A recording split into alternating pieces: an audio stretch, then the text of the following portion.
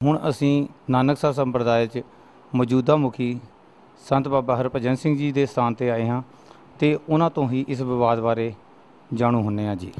ਵਾਹਿਗੁਰੂ ਜੀ ਕਾ ਖਾਲਸਾ, ਵਾਹਿਗੁਰੂ ਜੀ ਕੀ ਫਤਿਹ। ਦਾਸ ਸੰਤ ਬਾਬਾ ਹਰਭਜਨ ਸਿੰਘ ਜੀ, ਨਾਨਕ ਸਾਹਿਬ ਕਰਿਆਂ ਦੇ ਮਹਾਂਪੁਰਖਾਂ ਵੱਲੋਂ ਆਪ ਸਿੱਖ ਸੰਗਤਾਂ ਨੂੰ ਬੇਨਤੀ ਕਰ ਰਿਹਾ ਹੈ, ਜੋ ਸੁਖਵਿੰਦਰ ਸਿੰਘ ਬਿਆਲ ਜੋ ਵੱਲੋਂ ਸੰਤ ਬਾਬਾ ਰਣਜੀਤ ਸਿੰਘ ਢੰਡਰੀਆਂ ਵੱਲ ਤੇ ਦੋਸ਼ ਲਾਇਆ ਗਿਆ ਸੀ ਸਿੱਖ ਜਥੇਬੰਦੀਆਂ ਕਾਲ ਤਖਤ ਦੇ ਜਥੇਦਾਰ ਜਿਨ੍ਹਾਂ ਨੇ ਬੇਬੁਨਿਆਦ ਕੀਤਾ ਹੈ, ਦਾਸ ਨਾਨਕਸਰ ਸੰਪਰਦਾ ਦੇ ਮਹਾਂਪੁਰਖਾਂ ਨਾਲ ਬੈਠਾ ਹੈ।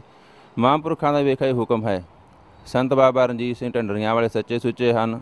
ਜੋ ਉਹਨਾਂ ਦੇ ਬੁਨਿਆਦ ਲੱਗੇ ਹਨ, ਉਹ ਬਿਲਕੁਲ ਹੀ ਗਲਤ ਹਨ, ਝੂਠੇ ਹਨ।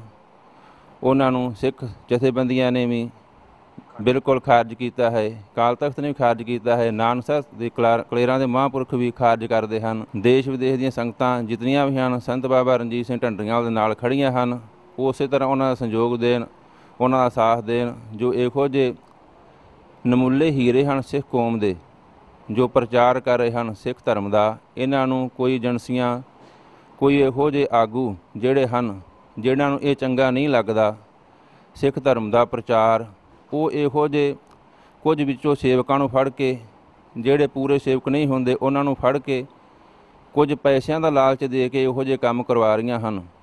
ਇਸ ਕਰਕੇ ਸੰਪਰਦਾ ਨਾਨਕ ਸਾਹਿਬ ਕਲੇਰਾਂ ਵੱਲੋਂ ਮੌਜੂਦਾ ਮਾਂ ਸੰਤ ਬਾਬਾ ਹਰਭਜਨ ਸਿੰਘ ਇਸ ਚੀਜ਼ ਦਾ ਖੰਡਨ ਕਰਦੇ ਹਨ।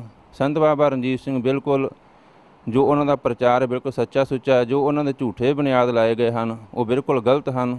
ਅਸੀਂ ਇਸ ਚੀਜ਼ ਦਾ ਖੰਡਨ ਕਰਦੇ ਹਨ। ਸਾਰੀਆਂ ਸੰਪਰਦਾਵਾਂ ਖੰਡਨ ਕਰਦੀਆਂ ਹਨ। ਵਾਹਿਗੁਰੂ ਜੀ ਕਾ ਖਾਲਸਾ ਵਾਹਿਗੁਰੂ ਜੀ ਕੀ ਫਤਿਹ।